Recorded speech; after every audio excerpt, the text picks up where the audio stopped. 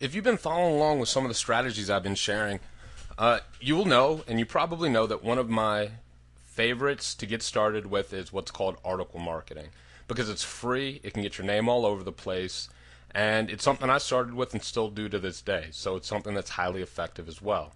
But one of the biggest pushbacks I get on that strategy is I get people that'll say, "Well, Daegan, I can't write, or I'm a really slow writer, or I'm a really bad writer."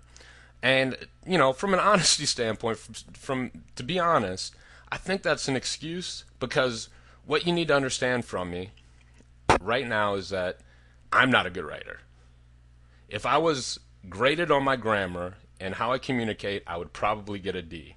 What you need to understand is when I'm when I say writing and creating content, I'm talking about communicating. And if you can speak to someone, you can communicate. And the formula is simple. It's write, talk, talk, right. Talk, right, right, talk. Simple. But let's take that a step farther. Let's say you're completely opposed to this thing called writing. Well, here's how to create articles, content, free reports, things of this nature without even writing a single word.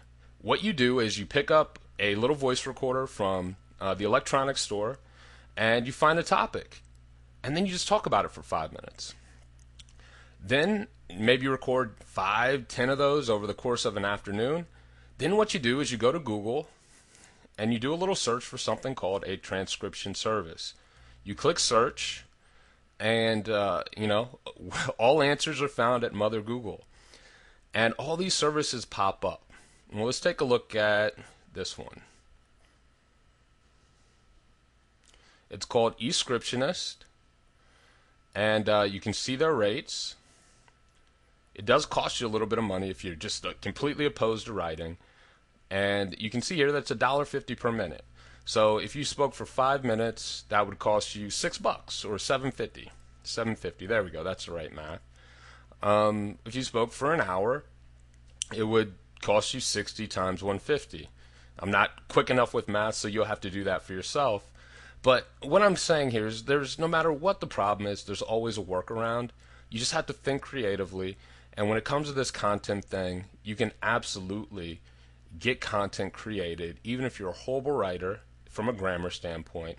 If you understand that it's just about communicating and give it a shot, and it even if you're totally opposed to typing a single word, you can still get it done by recording some good quality, valuable information coming to a transcription service like eScriptionist and having them just transcribe it for you.